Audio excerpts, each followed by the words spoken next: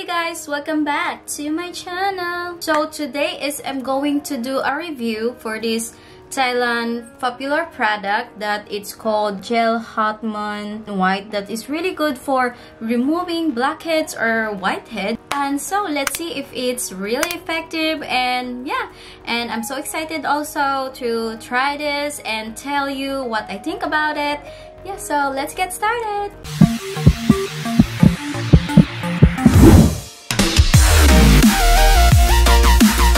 I bought this product is there's free like um, paper to put after the thing in here. And there's an instruction in here. The instruction is really in Thai. See I'm gonna open it first. So this is what's inside. Oh, oh my god. So that was inside. You know it's kind of smell of a glue or something you know that Elmer's glue? It's kind of smell like that. I have eye makeup and lipstick but I didn't put um, foundation or any moisturizer or anything. It, so it's just eye makeup and lipstick. That's it. I have face towel in here soaked in a warm water. Para mag-open talaga yung pores.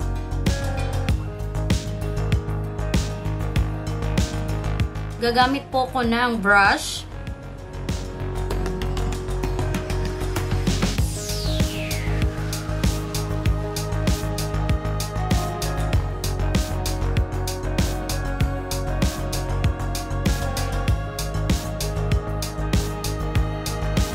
So,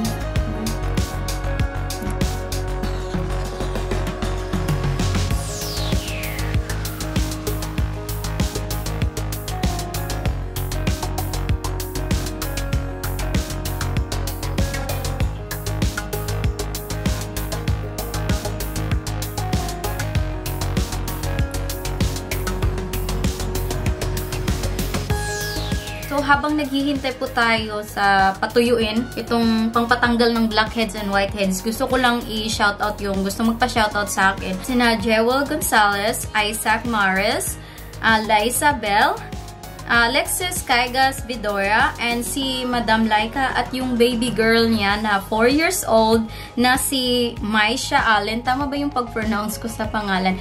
Ang ganda ng pangalan niya, Maisha. So, correct me if I'm wrong yung pag-pronounce ko sa name ng baby girl niya po ha. 4 years old daw po. Tapos, palaging nagwa-watch po talaga sa vlog ko kasi bit daw niya yung pag-makeup ko tsaka hair colors. Ganun. Ang cute, diba? Ang cute. Ayan siya. Ba? Ang cute ni baby girl. Oh my God. Kung sakali makita tayo in the future, tuturuan kitang mag-makeup. Hello there!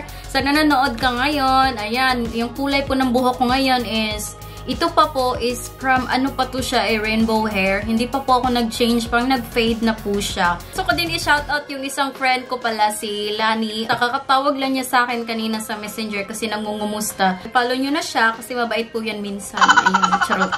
Thank you so much po talaga sa support nyo. Kayo po yung nagmo-motivate sa akin talaga na gumawa ng mga content na bago. At saka yung gusto ko din yung mag-review ng totoong content. Sinasabi nila na, ah, removing. Tapos, ewan ko kung totoo ba yun. Kaya, yung kapag may mga ganun, gusto ko din gawin sa sarili ko para i-ano kung totoo ba yun. Pero alam nyo naman, the products may work for you, may not work for me, and may work for me, may not work for you, di ba? So, kasi iba't iba tayo ng skin type. Dry skin talaga ako at saka prone po ako sa, ano, sa taghiyawat. Naku, palagi kayong nagwa-wash ng face talaga. At saka, use the right product based on your skin type. Yun lang talaga maano ko. Kasi dati, bili ng bili lang po ako. Walang research-research, ganun. Bili ng bili lang po talaga ako. Hindi ako nag-search na ito pala, para pala to sa oily skin. Para pala to sa ano, combination skin. Nag-type na po talaga siya. So, mag-wait muna ako ng few minutes para talaga na super dry talaga to siya. O tingnan natin kung effective ba talaga. So, see you later! Hey guys! So, ilang dekada na po ang nakalipas. So, tatanggalin ko na po ito. Charot. Aray! Ala! Kay sakit! Alang sakit! Ay!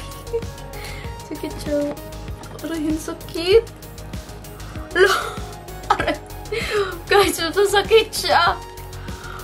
Oh my God! Sakit talaga siya! Agoy! Aray! Oh my God, umiiyak na ako. Aray! Umiyak na ako sa kitchen. Uy. Oh, shit. Ay, sakit talaga. Oh my God, umiyak na ako.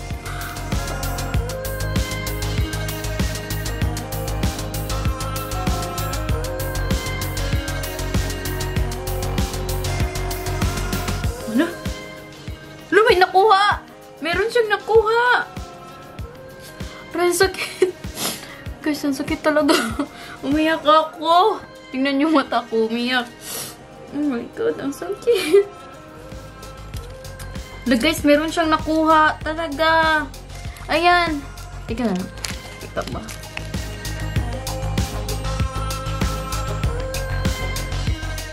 Ang ganda siya. Nakuha din yung ibang facial hair ko. Ang sakit talaga. Ah. Uh, gan Umaya na ako mag-wash para diretso-diretso na talaga tong pag-shoot. Napansin ko kasi yung area na kung saan may na nga natanggal. Kailangan medyo thick yung paglagay mo sa gel. Oh my god, natanggal talaga yung whiteheads ko.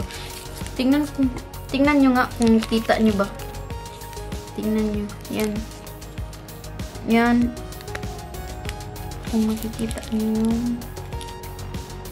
Ewan ko bakit hindi siya talaga makikita sa video. Maganda siya guys, pero kunti lang po yung natanggal sa akin. Yung area lang po talaga na medyo thick yung paglagay ko. Kung sino yung mga nakatry nito, let me know kung ano yung mga experiences nyo. Kasi iba't iba po tayo ng skin types. It. Sa hindi pa nakatry, itry nyo na. Maganda po siya. Tsaka basta thicker lang yung ilagay nyo pa. Ulit-ulit na yung sinasabi. Tsaka warm muna na tubig para mag-open yung pores nyo. Ganon. Ganon yung ginawa ko kanina. Siya, maganda siya. Okay siya para sa akin. And gagamitin ko pa din siya ulit kasi natatanggal din yung facial hair. Ganon. So, siguro gamitin ko siya sa kanyang facial hair and sa whiteheads ko. So, thank you so much for watching and I hope you really enjoy this video and find it helpful. So don't forget to like, share, and subscribe to my channel. So ayun, thank you and love you all. Bye!